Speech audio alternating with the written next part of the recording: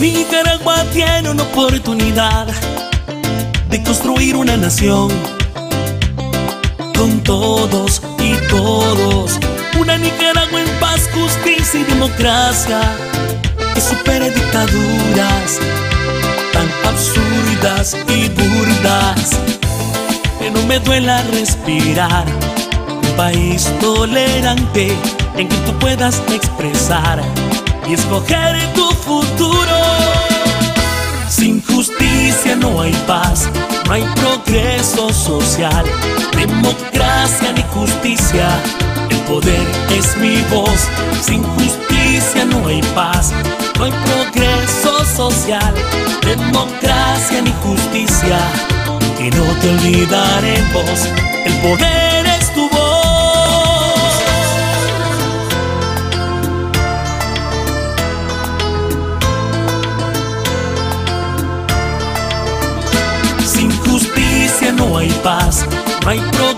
progreso social, democracia ni justicia. El poder es mi voz, sin justicia no hay paz, no hay progreso social, democracia ni justicia. Que no te olvidaremos, el poder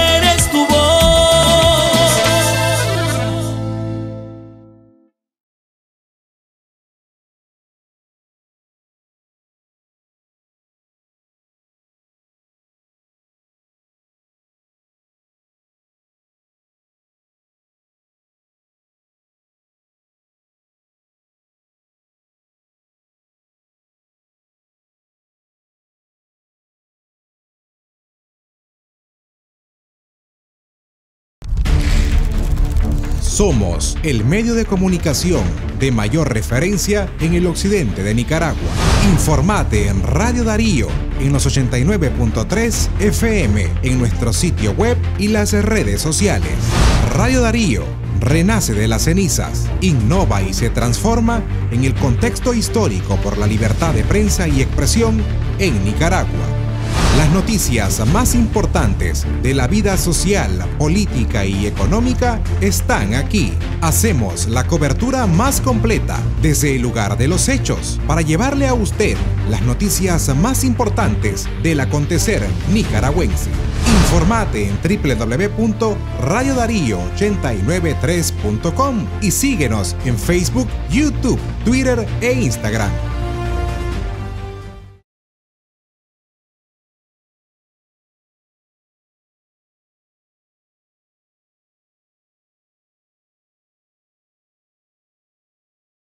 Amigas y amigos, sean todos bienvenidos a una nueva edición de Noticias Live en la plataforma en Facebook de Radio Darío 89.3. Es un placer acompañarles. De esta forma vamos a dar inicio a las informaciones que hemos preparado para este día.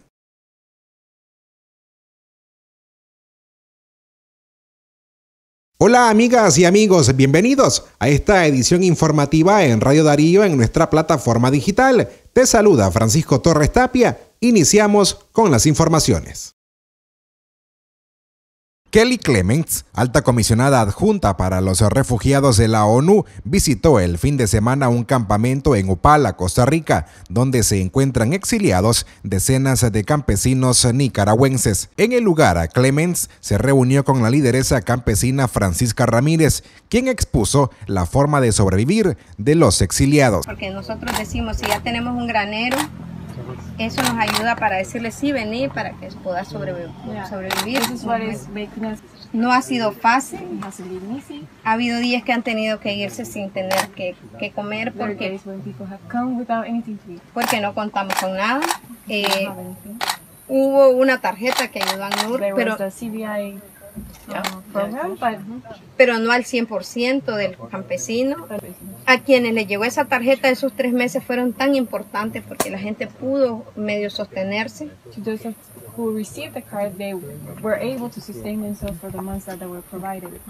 Es tan importante hacer esas valoraciones porque la dignidad para nosotros que nunca teníamos en nuestra historia que íbamos a pasar esto, cuando alguien nos da un paquete y por ese paquete nos tiene que tomar una foto, es doloroso y sentimos que nos daña It was very important. Perfecto, eh, pero en el lugar que estamos, si no tenemos una ayuda, o sea, una fuerza, es imposible porque cuesta mucho, pues tenés que despojarte, tenés que sufrir antes, porque nosotros, la historia que le contamos que hemos pasado, dormir en un andén para poder trabajar, para poder haber adquirido esto, es un sufrimiento tan lejos que no todo el mundo resiste. Pues. Al inicio de la gira Clemens por Costa Rica el 7 de febrero, se anunció que ese país recibirá 4.1 millones de dólares en cooperación del Alto Comisionado de las Naciones Unidas para los Refugiados, ACNUR, para atender de forma integral las necesidades de las personas solicitantes de asilo y refugiadas en condición de pobreza en esa nación centroamericana. La alta comisionada adjunta para los refugiados de la ONU señaló luego en su cuenta en Twitter que se necesita aumentar la respuesta a estas personas y que el apoyo internacional es clave en este esfuerzo. Darío Noticias. En este momento de la historia los partidos políticos tienen la oportunidad de saldar la deuda que tienen con el pueblo nicaragüense, criticó desde la Catedral de San Pedro en Matagalpa el obispo Rolando Álvarez. En Nicaragua no hay un solo partido político que no tenga una deuda histórica con nosotros, el pueblo, que deben de saldar. Y que en este momento, principalmente de nuestra historia, tienen la gran oportunidad de cancelarla y de poder reivindicarse ante nosotros. Álvarez, quien es secretario de la Conferencia Episcopal de Nicaragua, hizo énfasis en que las organizaciones políticas deben trabajar por unas reformas electorales íntegras que garanticen elecciones libres y transparentes.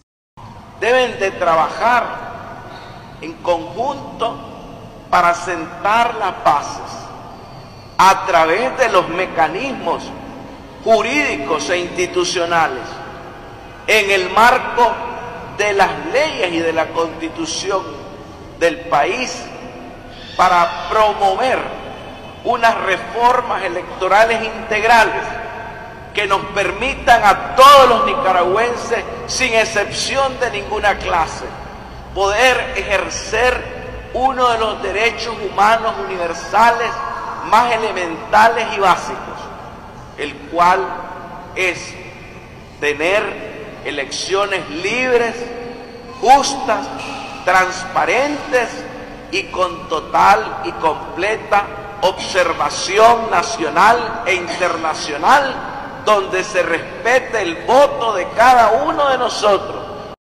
En su mensaje, el obispo Rolando Álvarez criticó a aquellos miembros de la oposición que ya han lanzado su candidatura a la presidencia del país. Darío Noticias. Un grupo de ciudadanos italianos y nicaragüenses denunciaron al régimen de Daniel Ortega, quien mediante una delegación participaba en la Feria Internacional del Turismo en Milán, Italia. Nicaragua no es apta para el turismo, denunciaron los ciudadanos. Veamos. Agua, si el año scorso 400 personas fueron muertas por culpa de la dictadura. ¿Cómo può irresponsablemente parlare di turismo quando in Nicaragua non eh, sono prigioniero politico solo per alzare questa bandiera? Come si può parlare del turismo in Nicaragua quando nostra gente, nostri ragazzi, abbiamo più di 40.000 ragazzi exiliados in Costa Rica, più personas brilló se que esté fuera del país por culpa de Daniel Ortega y Rosario Murillo, due dictadores. ¿Cómo es posible el gobierno italiano que tenga qua promover un turismo? Chiediamo a, a Italia si faccia complice di queste cose. Loro lo sanno lo che sta succedendo in Nicaragua, sanno che cosa sta succedendo in Venezuela. Per che motivo deve uno de vedere venire qua una fiera del turismo quando i nostri ragazzi sono 400 persone in meno di due mesi del 2018 murieron. Ragazzi por sacare questa bandiera. Perché a qua è bello stare la democrazia perché io posso Darío Noticias La abogada y defensora de derechos humanos Yonarki Martínez denunció el fin de semana el acoso sufrido por parte de operadores del régimen sandinista. Martínez se encontraba en su casa junto a su familia y narró a Noticias 12 que civiles y policías uniformados preguntaron a los vecinos por ella. Contó además que recibió llamadas telefónicas donde le preguntaron por el excarcelado político Gerson Snyder Suazo, quien ahora tiene orden de captura. Aquí sus declaraciones. Mira, el asedio, eh, el acoso y las amenazas de llevarme detenida, eh, de al tal punto de interrumpir la tranquilidad de los vecinos haciéndole preguntas eh, que no vienen al caso, como dónde está. Prácticamente ellos saben dónde vivo, qué hago, con quién ando, dónde trabajo y cuál es mi familia. Eh, lo que sí me pareció eh, raro y un riesgo eh, enorme el hecho de estar en altas horas de la noche y, no permitirme ni siquiera salir a ningún lado y estar continuamente con el asedio. Evidentemente, este, lo que yo manejo es que ellos querían ingresar a la propiedad, ellos querían allanarme. Gracias a Dios no lo hicieron porque yo estaba con la preocupación de la integridad de la vida de mis hijos. Obviamente nosotros como defensores tenemos un nivel de riesgo bastante alto, pero eh, durante todo este tiempo hemos asumido el riesgo como profesionales, como personas adultas. Pero eh, en el caso de los menores, creo que en este eh, que todo padre de familia piensa antes que todo en la seguridad de ellos. Es por eso que yo hice la alerta. Darío Noticias.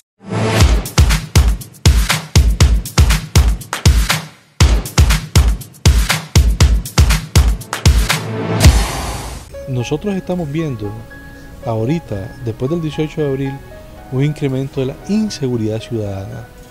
Lo que podríamos señalar es que el principal factor de inseguridad para Nicaragua en este momento no es ni la delincuencia común ni el crimen organizado, sino que es realmente este, la violencia política. Eh.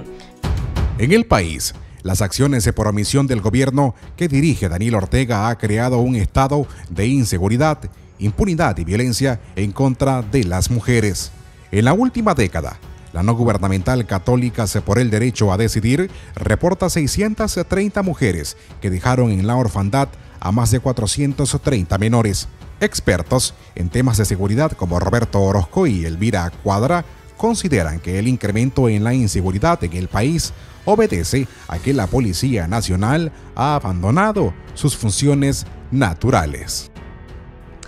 Pues efectivamente la policía ha dejado de cumplir con sus funciones y con las misiones que están establecidas en la Constitución para este, dedicar eh, sus esfuerzos y sus este, eh, actividades en función de, digamos, detener la movilización y las protestas ciudadanas. Mira, lo que sucede con la policía es que a partir de la crisis de abril, la policía dejó sus funciones naturales. La función natural de la Policía Nacional es la persecución del delito, es la seguridad pública. Es decir, la seguridad pública ha pasado a un segundo o un tercer plano a partir del 18 de abril. ¿Qué es lo que estoy diciendo yo aquí? Que la policía se ha desnaturalizado y se ha convertido en el aparato de seguridad del régimen por lo tanto, la seguridad pública no es ya una prioridad. De los 63 femicidios registrados en 2019, 31 femicidas se encuentran prófugos, un escenario que muestra la impunidad por parte de las autoridades estatales. Bueno, eh, hay que tomar en cuenta que la Policía Nacional fundamentalmente es una policía violenta, agresiva, asedia a la sociedad y, la, y los fundamentos de las estructuras de, de las leyes no tienen una capacidad para dar un seguimiento y hacer justicia. Actualmente las mujeres se sienten en la indefensión, interponen una denuncia y no es una prioridad. Interponen una denuncia y los agresores más bien al contrario utilizan eh, esta situación y le transmiten a las mujeres, nadie te va a ayudar. Por ejemplo, una mujer que ha sido violentada, en su casa o en el vecindario o en un taxi, como el último crimen que hubo, ¿verdad? La, policía le hace que cuente la historia dos, tres veces y muchas veces se burlan de ella por la falta de capacidad técnica. Los sociólogos María Eugenia Delgadillo y Cirilo Otero coinciden en que la violencia que enfrenta a la mujer en Nicaragua es un problema que debe abordarse desde la formación en los menores. Las niñas y los niños están, eh, o sea, eh, no es una prioridad dentro de la currícula y ellos tienen que ir identificando, los niños tienen que respetar a las niñas, tienen que identificarlas y visibilizarlas con, personas como, con derechos.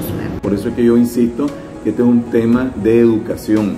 Hay que crear condiciones y eso lo puede crear el Ministerio de Educación, el gobierno, el mismo Estado. La inseguridad que viven las mujeres en Nicaragua empeora con las acciones del gobierno, que solo en 2019 liberó a 6.865 delincuentes comunes de los centros penitenciarios del país. Este gobierno ha dejado en libertad no solamente casos de violencia intrafamiliar o violencia sexual, sino que a un sinnúmero de personas que han cometido delitos, graves delitos. Estas personas están nuevamente delinquiendo actualmente. Por eso el gran índice de, eh, de, delincuencia que se vive, inseguridad que se está viviendo por parte de la población, sobre todo de las mujeres. Aunque Rosario Morillo anunció en sus medios de propaganda el retorno de las comisarías de la mujer, en Nicaragua se vive un clima de violencia e inseguridad y aunque el agresor de la mujer puede estar en cualquier parte, las familias de Luisa Mejía, Ruta Burto, Yesenia Telles, Jocelyn Romero, Marta Gómez y Domitila Espinosa, víctimas de femicidio en enero de 2020, demandan justicia sin impunidad.